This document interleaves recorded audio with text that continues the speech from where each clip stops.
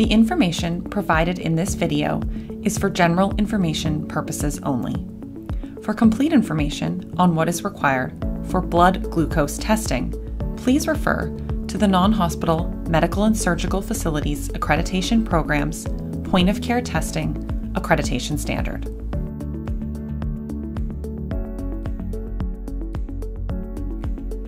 Every non hospital facility is required to have a glucose meter available.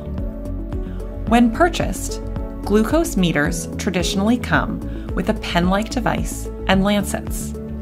As these are designed for use on one person and are difficult to clean, facilities are required to replace these with single use, auto disabling fingerstick devices. These can be purchased through local pharmacies or medical suppliers.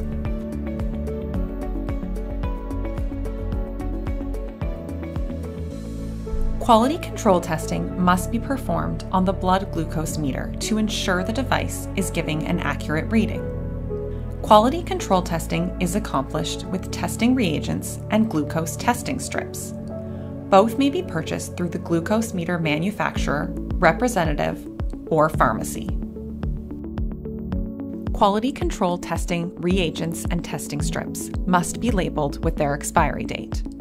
It is important to refer to the information pamphlets to confirm if the expiry date stamped on the product changes once the product is opened. For example, three months after opening. Products must be labeled with the appropriate expiry date. Quality control testing reagents must be stored according to the manufacturer's instructions for use. It is important to refer to the information pamphlet for storage requirements. Many reagents are temperature sensitive and require refrigeration.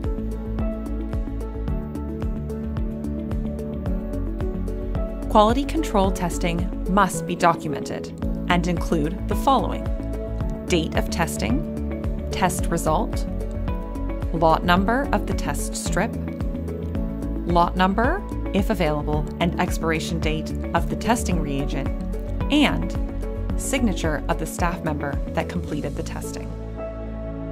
For complete information on what is required for glucose meters and other point of care testing, please refer to the accreditation standards.